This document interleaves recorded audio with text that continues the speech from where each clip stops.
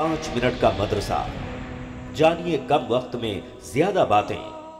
अस्सलाम वालेकुम वरहमतुल्लाहि वबरकातुहू। नादरीन, आप तमाम का इस्तकबाल है हमारे प्रोग्राम पाँच मिनट के मदरसे में। हमारा आज का पहला मौजू है कुरान। अल्लाह ताला ने फरमाया, कुल मा यअबउ बिकुम रब्बी लौला दुआउकुम फ़क़द कज़्ज़बतुम फसौफ यकूनु कह दीजिए कि अगर तुम्हारी दुआ इल्तिजा न होती तो मेरा रब तुम्हारी मुतलक परवाह न करता।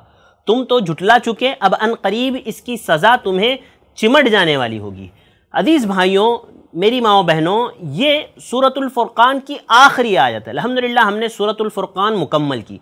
ये सूरतुल फुरक़ान की आखिरी आयत है, जिसमें अल्लाह रब्बुल आलमीन ने इस बात का ज़िक्र किया कि अगर तुम्हारी दुआ और इल्तिजा न होती तो इसका मतलब अहले इल्म ने मुफसरीन ने ये ज़िक्र किया है कि अल्लाह रब्बुल ने यहाँ पर मकसद पैदाइश को बयान किया है, मकसद तख्लीक को बयान किया है। वो क्या है? वो अल्लाह की इबादत है।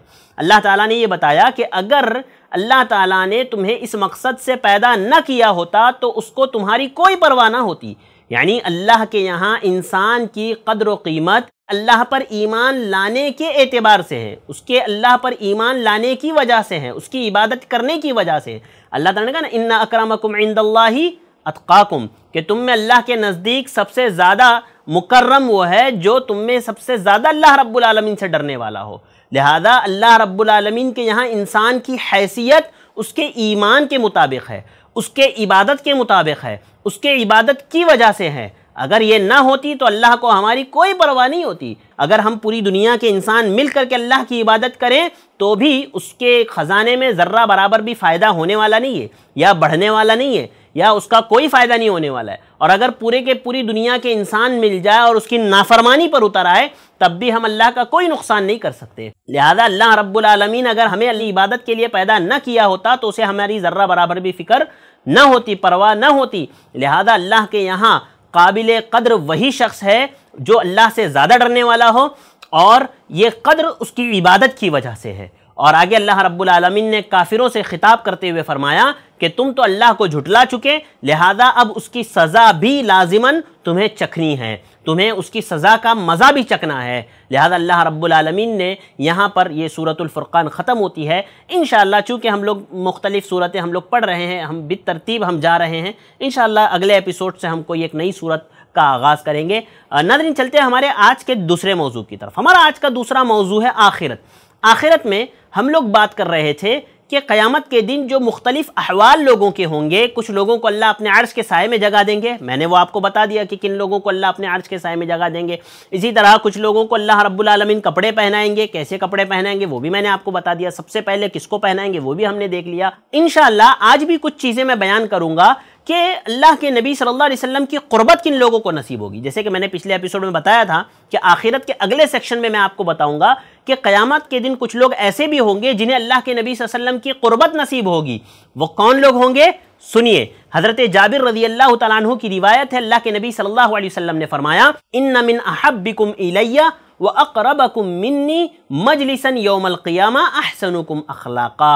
कि अल्लाह के नबी ने फरमाया बिलाशुबा रोज़े क़यामत तुम में से सबसे ज़्यादा पसंदीदा और सबसे ज़्यादा मेरे करीब वो लोग होंगे जो अच्छे अखलाक वाले होंगे। जो लोगों के अंदर अच्छे अखलाक, अच्छे किरदार है ना, वो लोग अल्लाह के नबी वसल्लम के सबसे ज़्यादा करीब होंगे। अगर मेरे और आपके अखलाक सबसे अच्छे हैं तो हम अल्लाह के नबी के करीब होंगे। अगर मैं और आप चाहते हैं कि कल क़यामत के दिन हमें अल्लाह के नबी की क़ुरबत नसीब हो तो हमें अच्छे अखलाक वाले बनना है। और आगे इसी हदीस में आप अलैहि वसल्लम ने फरमाया कि तुम में सबसे ज़्यादा नापसंदीदा और मुझसे सबसे ज़्यादा दूर वो लोग होंगे जो बड़े बातूनी होंगे। बेफजूल की बातें करने वाले, फजूल हाँकने वाले और मुतकबिर लोग होंगे। अल्लाह के नबी वसल्लम फरमाया कि फजूल बातें करने वाले और मुतकबिर लोग अल्लाह के नबी वसल्लम से सबसे ज़्यादा दूर होंगे। इसी तरह अल्लाह के नबी वसल्लम ने फरमाया कि वो लोग जो हालत इस्लाम में बूढ़े हुए हैं, अल्लाह ताला उन लोगों को नूर भी अता करेंगे। कुछ बूढ़े ऐसे होंगे जिनको नूर दिया जाएगा।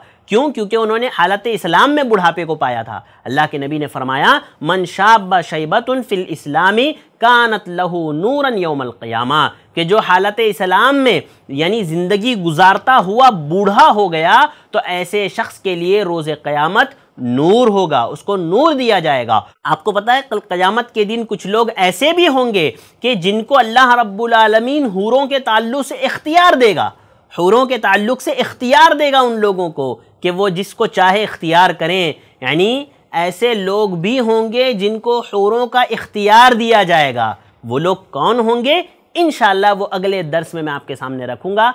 आप हमारे साथ जुड़े रहें, पाँच मिनट का मदरसा देखते रहें, हमारे वीडियो को लाइक करें, कमेंट करें, शेयर करें, हमारे चैनल को सब्सक्राइब करना ना भूलें। नादरीन मुझे दीजिए इजाज़त। अल्लाम वरहमल वर्का ऐसे ही और वीडियोस बनाने में हमारी मदद करें। इस नंबर पर कॉल करें।